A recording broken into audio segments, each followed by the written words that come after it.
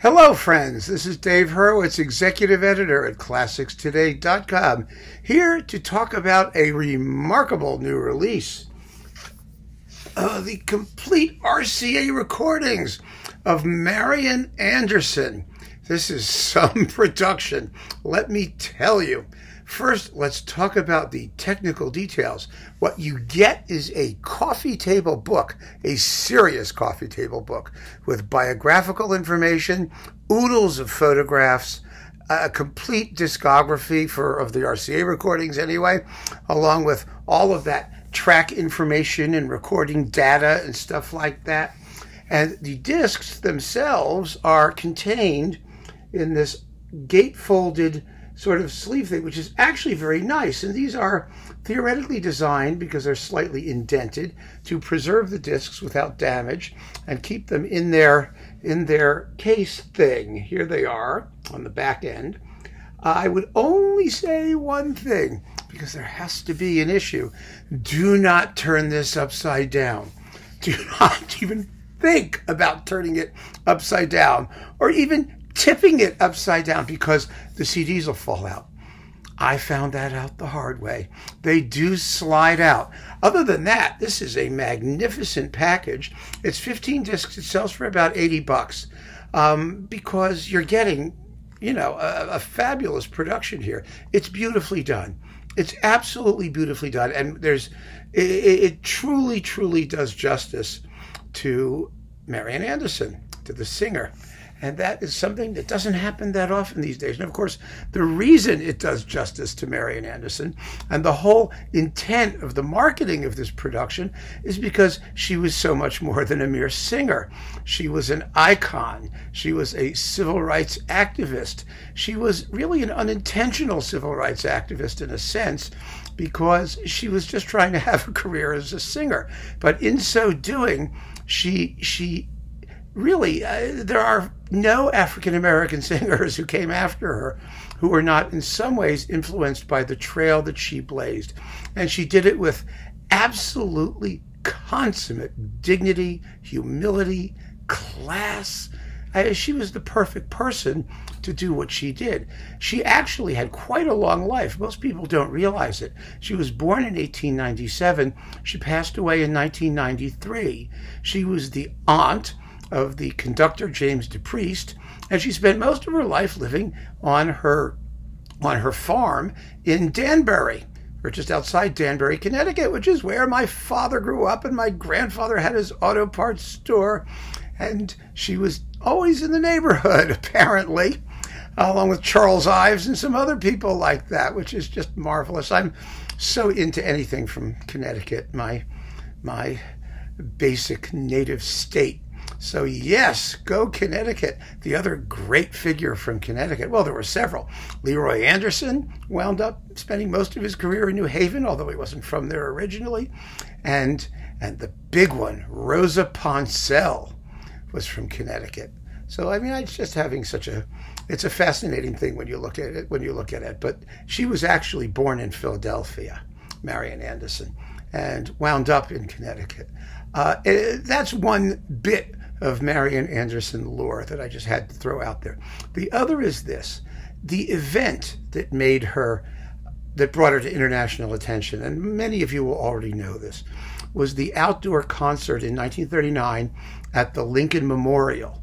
And the reason she gave an outdoor concert at the Lincoln Memorial is because she was originally booked to perform at Constitution Hall in Washington, D.C. Well, she wasn't booked, she wanted to perform there. That hall was owned and run by the Daughters of the American Revolution. Now, the Daughters of the American Revolution is is is inexplicably bizarre. If you really want to know, I mean, I, you you I've had I had my own run-in with the Daughters of the American Revolution that I just have to tell you about. The Daughters of the American Revolution is obviously a, a women's organization consisting of ladies who have a direct descendant to somebody who fought in or was alive or involved in the Revolutionary War, the American Revolution in 1776.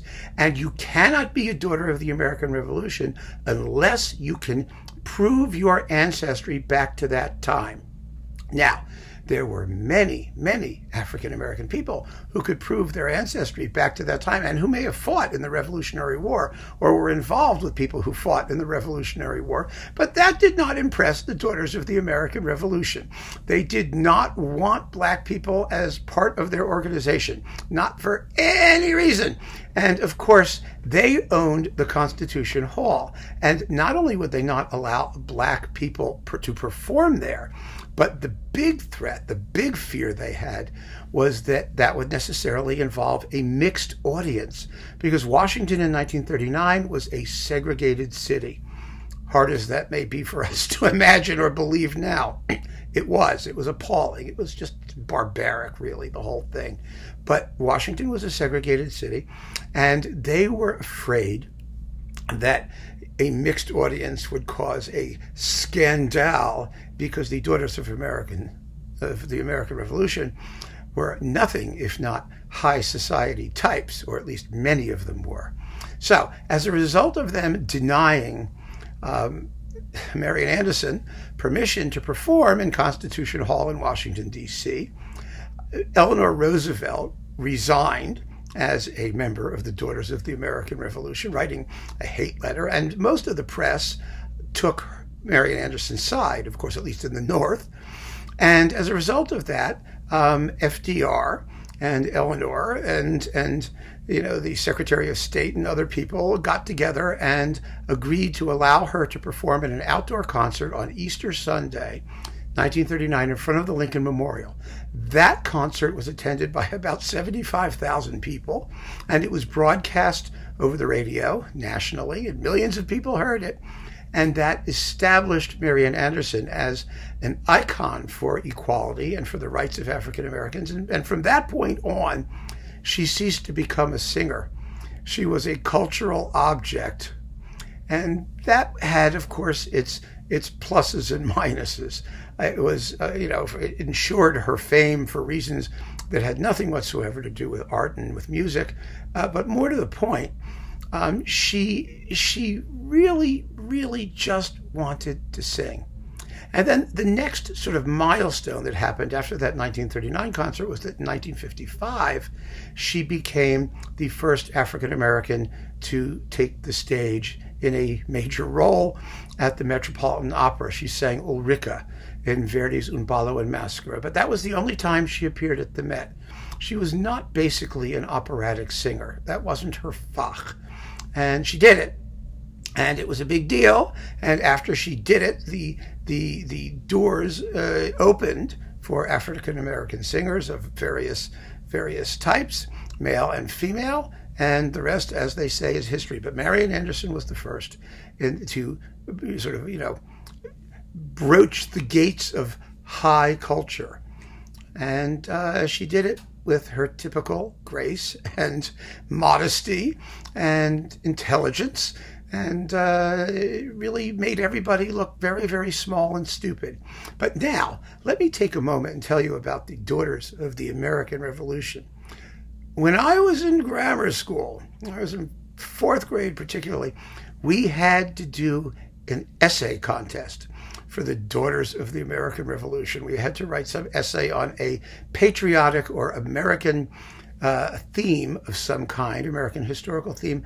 I don't remember what it was you won if you did it. All I know is that the misery of having to do it was somewhat assuaged by the fact that one of these old biddies had to read all these essays written by fourth and fifth graders and decide which ones were going to be which ones were going to be uh, recognized for their superior whatever it was they were looking for. We had a teacher. She taught second grade, I believe, in my grammar school, who was a member of the Daughters of the American Revolution. Her name was Miss Alexander. She was unforgettable. She was about four and a half feet tall and 175 years old. You'll notice her name was Miss Alexander, and there was a reason she remained a Miss for her entire life. She had been in the Army. And she was also a daughter of the American Revolution, and she wore her full uniform and medals and regalia and ribbons and sashes every single day to class. And not only was she a daughter of the American Revolution, I think she probably started the American Revolution. She was there. Believe me, she had firsthand experience of the American Revolution. No one knew exactly how old she was. Um, she had whiskers periodically coming out of her chin, and she had this gravelly voice like this, and she was terrifying, absolutely terrifying. And one of the things that happened when I was uh, quite young, when I was in fourth and fifth grade, basically, is that is that the schools in Milford, Connecticut began busing inner city kids from New Haven, African American students, and they were, let's put it this way, that caused quite a stir. It was not a happy time, I think, either for for the busees or the busors, because it caused hysteria. And Miss Alexander hated these kids. And we would walk down the hall. She would lie in wait, you know, in her classroom. And we'd walk down the hall completely innocently. And when an African American kid walked by, this bony hand would reach out and grab them by the ear and pull them into her classroom. And what, what she did to them, I have no idea or why, but she was always watching the playground to try and see if she could identify misbehavior. It was just awful. It was truly, truly awful. I mean, the teachers were bigots. It was disgusting. And I know, I know because there were only a couple of Jews in the whole school, and I was the object of their bigotry, just like the black kids were. So, of course, we, we became friends because we were we were we were on the outs we were the outsiders and in those days in those days, we were permitted, believe it or not, to walk home for lunch if you lived close by to the school. And I lived quite close. I could walk to school every day. So at lunchtime, me and my African American friends would walk home, and my mother would have lunch ready for us because it was safe and we wouldn't be molested. And then we would walk back to school afterwards. And that is my memory of the Daughters of the American Revolution. And it wasn't just the African American kids who got it from Miss Alexander. My own best friend, who was my next door neighbor, um, was despised by Miss Alexander. And all, it was another one where every time he walked by her classroom, the bony hand of doom would come out and haul him in. And I don't know what she did to him, but he did pass away from alcoholism. And I'm sure that Miss Alexander and the Daughters of the American Revolution had something to do with it. I'm absolutely convinced. So that is the impression of the Daughters of the American Revolution as seen through the eyes of a fourth grader. And the fact that Marian Anderson was the person to stick it to him is just fabulous. Of course, now they admit African American members, but you know, in the 1950s, I think, or the 70s or something, they finally started to do that. But you know, why anyone would want to join them, I have absolutely no idea. Maybe they're less horrifying now, but they were pretty scary then. At least Miss Alexander was, if she was an exemplar of the whole crew. But now we can talk about music. Marian Anderson is a little bit controversial as a singer. You know, Toscanini said she had a voice that comes along once a century, and you know, Sibelius wrote some songs for her. They were friends. She had uh, she was pretty universally admired. She had an extraordinary voice, but it was sort of like Maria Callas's. It was strange. And you either loved it or you didn't. She billed herself as a contralto, but the fact of the matter is she had an enormous range. She could basically sing anything from baritone to high mezzo. And it was all perfectly even and, and without any strain.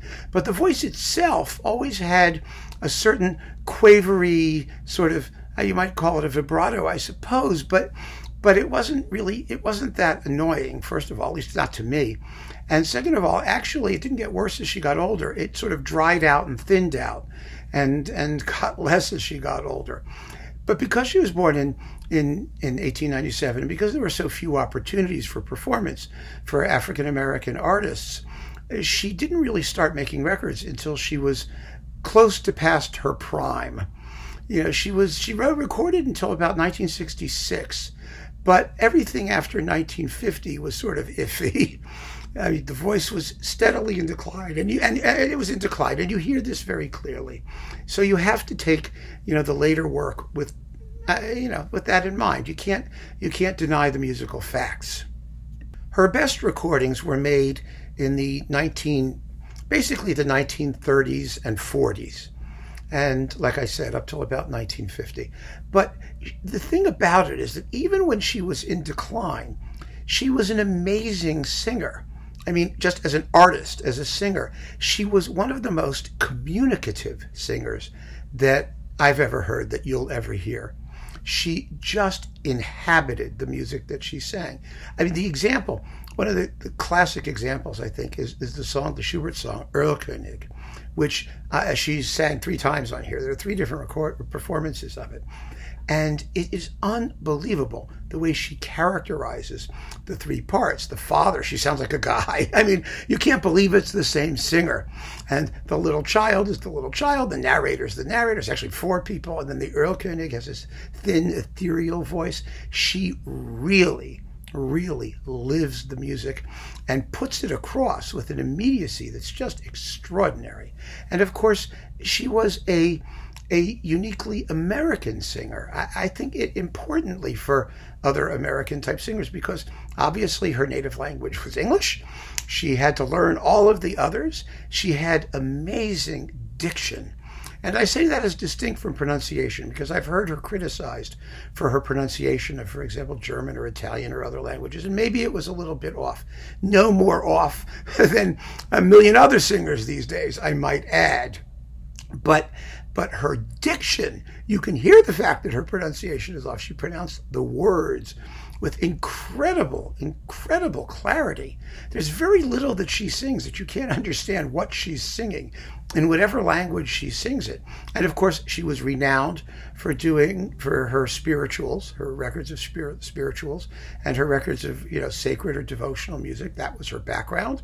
That was her belief system, and she sang them with with completely unaffected nobility and simplicity and immediacy of expression and passion and it really didn't matter in what shape her voice was in because it was it was several decades into her career before she actually was able to get to get any kind of professional training because she was African American the same situation.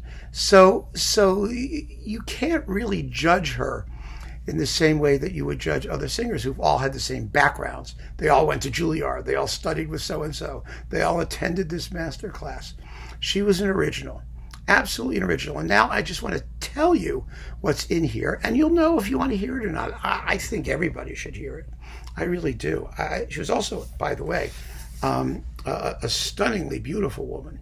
Uh, let's not leave that little tidbit out. That also has nothing to do with music.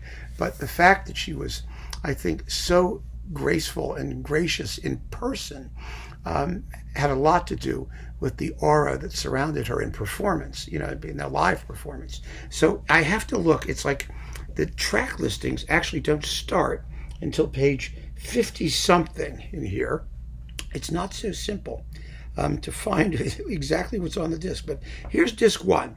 Okay, disc one is spirituals, recordings that she made from 1923 to 1946, followed by the early electric recordings, 1936 to 1946, which are songs of all kinds. And that's the sense in which she was American. She sang everything. She had to sing everything. She had no, aside from spirituals, which were her her tradition, you know, she her her singing of art songs of Lieder. I, that was all pumped into her, as it would be for most American singers after her, whether they were African American or not. She had her biggest successes, of course, in Europe, where the bigotry and prejudice was not was not as automatic and as nasty as it was in the United States. So that, anyway, is disc one. Disc two is Lieder, Songs, and Melodie, and this is 1936 to 1951 and it is extraordinary. I mean, the stuff that she does. She does the the Sibelius songs that Sibelius rewrote for her, um, and she does stuff by Massenet and Rachmaninoff, and sometimes in translation, sometimes not. And Fritz Lehmann and Cyril Scott, and and uh, it's unbelievable the range of material that she sang. Stephen Foster, of course and then uh, oh all kinds of other things like that so there's that stuff and she was accompanied in a lot of these things by eugene ormandy and in the alto rhapsody which she does three times in this set once with Eugene Ormandy, once with, I think, Fritz Reiner, and once with um, Robert Shaw. Uh, we'll get to those as we get to them. So that's disc two. Disc three, Baroque arias. First, there's a whole pile of Bach arias. You get, you know, the the usual ones, you know, Erbarme dich from the St. Matthew Passion. And let's see, what else do we have here? Oh, yes, you know, Bereite dich, uh, Zion, and a whole bunch of things like that. And then you get great songs of faith. These were, of course, um, standards for Marian Anderson, as well as for actually quite a few singers in those days. It's funny, singers don't make great songs of faith recordings as much anymore in the less religious society in which they live. But um, these are very, very beautiful, heartfelt performances. And then let's see, disc four, Lieder by Brahms, Mahler, and Strauss. Yes, let's see, the Brahms is the Alto Rhapsody. Um, and then, pardon me, in this case, it's, let's see who's doing it. Oh, it's the San Francisco Symphony. No, it's not. I'm sorry. This is the one with Robert Shaw. Um, and the Robert the RCA Victor Symphony, and it's conducted by Fritz Reiner. Let me get it straight. This is the Reiner Alto Rhapsody. Then she does the Kindertotenlieder with Pierre Monteux and the San Francisco Symphony. And that's one heck of a Kindertotenlieder. I love the performance as much for Monteux as for Marian Anderson, but it is one of the most moving and all the more moving for not dragging. The tempi are rather quick, and my God, is it immediate and gripping. It's an extraordinary Kindertotenlieder, really is. You really ought to hear it if you don't know it. This was, it was recorded in 1950. She was still in, in relatively decent voice, starting to fray around the edges, but wow, what a performance of that.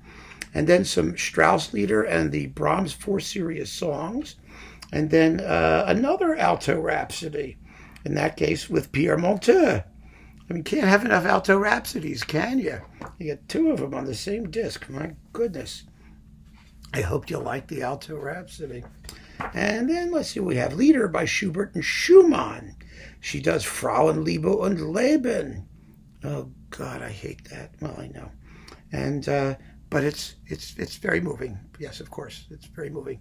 It's the dumbest poetry in the world. I I know. I said I hated it during our Lieder talk, and you all jumped all over me for it. But I, I just think it's embarrassing. And then uh, the Schubert stuff. This is where you have the first of the Erlkönigs. And my goodness, and her also her death and death and the maiden and the trout. And at some point she does she does Gretchen. Yes, Gretchen on Spinnrade. Holy cow! It'll knock your socks off. It's just extraordinary. Absolutely. extraordinary. I wish I could play you samples. You can probably get most of these things on YouTube. I'm sure they're out there on there if you want to check it out for yourself. Do try and hear her do Erlkönig. It's just, you're not going to believe it. Then disc six is spirituals. Um, and let's see, they are absolutely fantastic, as you might expect. Disc seven is highlights from Verdi's A Masked Ball, Un Ballo in Maschera. Here we get to hear her, her Ulrika. Now, the Met, in its productions, has released the complete performance, or one of the complete performances in which she participated, um, which is not very good. Bob Levine um, reviewed that for ClassicsToday.com, the whole performance, you know, not just her. Um, she's not so hot either at that point.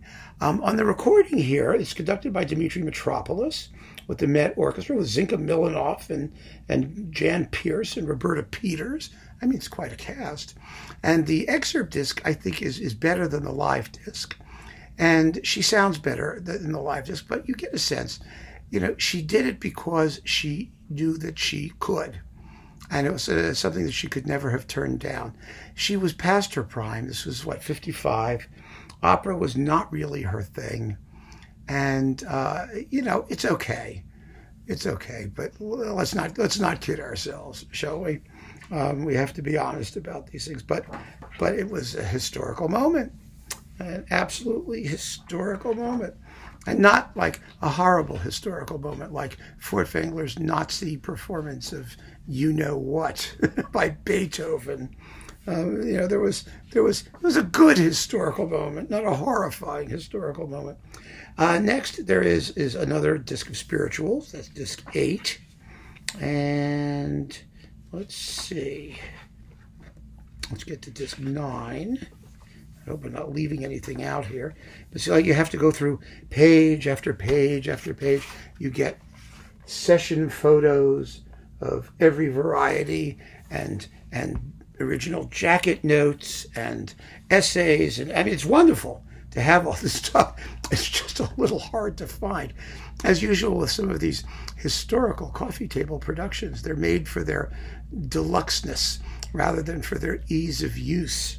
Um, that's ah, Christmas carols. And we get a couple discs. Uh, these are like a couple discs slammed together of Christmas music. And let's see. What's next? Uh, songs by Schubert, Schumann, Brahms, Strauss, and Haydn. I love the Haydn songs in here. She does the spirit song. She never told her love and a pastoral song. Pardon, there's other Haydn later. And Schubert is Der Doppelganger and and Der Jüngling und Der Tod, and she does Schumann stuff. And Richard Strauss is Morgen, and a bunch of Brahms songs, and it's really, and some of it, let's see, is again with Philly and Ormandy, because they orchestrated some of them, which is even more fun. They're in orchestral arrangements, which I always enjoy. And let's see. That's disc 10. Disc 11, Songs at Eventide, arrangements by Robert Russell Bennett.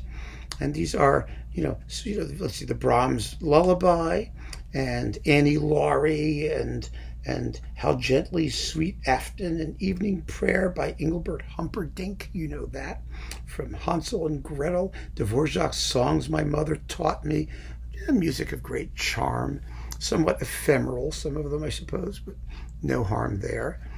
I hope this is just giving you some sort of sense of the range of repertoire. It really is, really was astounding.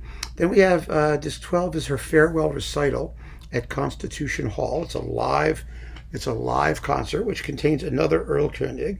She's not in such great voice for this farewell recital. It's it's a bit of a stretch. But one of the things that was interesting about her is that even when her voice was going, it was always even. It went evenly. In other words, in other words, she could sing from high to low without any kind of strain. It was all of a piece, her voice, no matter no matter what she was doing with it. It's really kind of amazing. So once you get used to it, it's thinner and drier. You just deal with it. Then there's let's see, disc disc 13 is called Just Keep On Singing.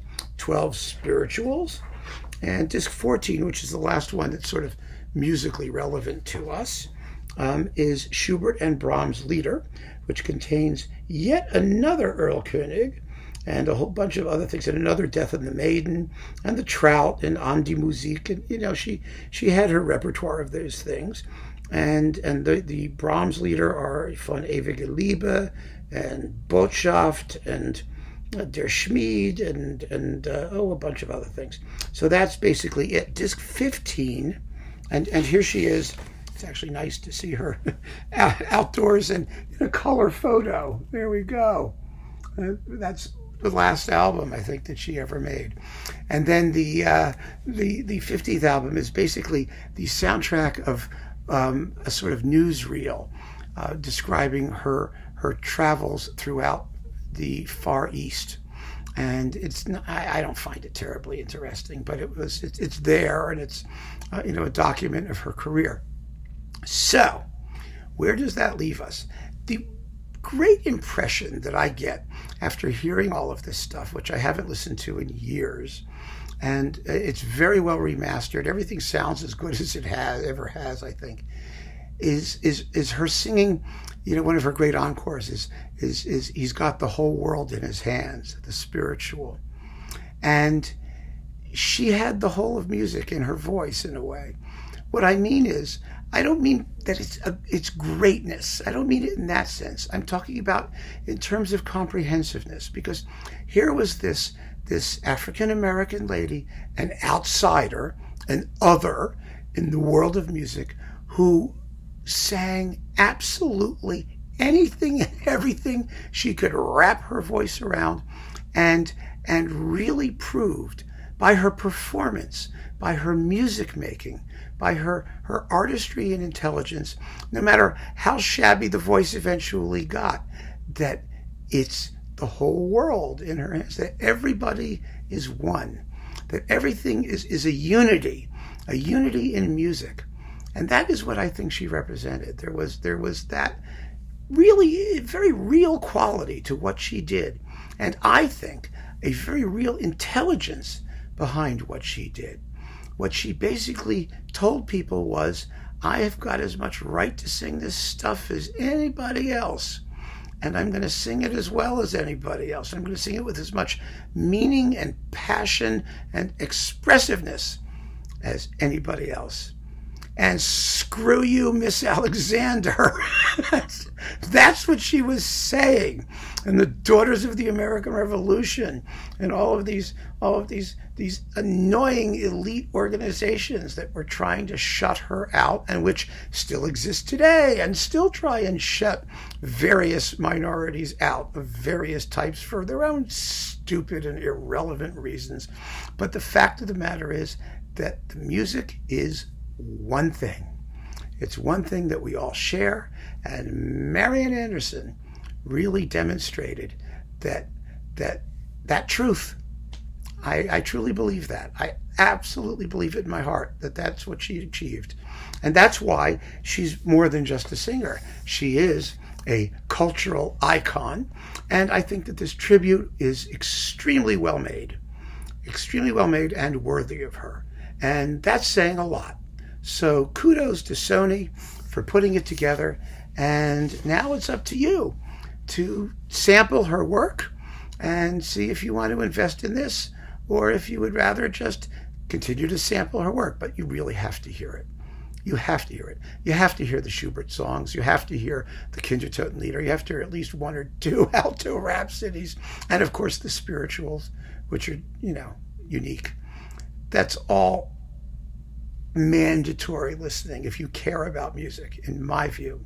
So, keep on listening, folks. Let's make America classical again. Thank you for joining me. Take care.